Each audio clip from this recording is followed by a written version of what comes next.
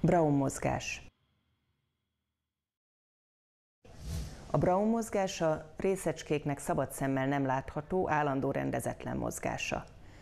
Minél magasabb a hőmérséklet, annál intenzívebb ez a mozgás. Ezt mutatjuk be a következő kísérlettel.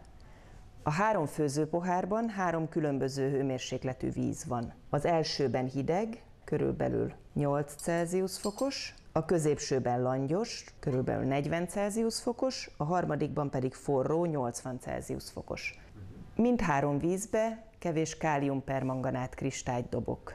Lássuk az eredményt.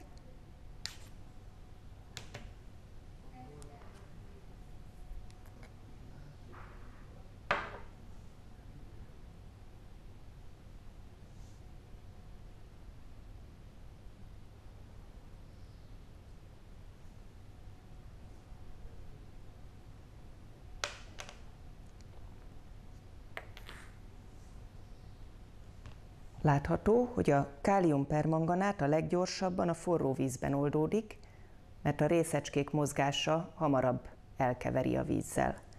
A langyos vízben közepesen, a hidegben pedig alig-alig oldódik. Minél magasabb a hőmérséklet, annál intenzívebb ez a mozgás.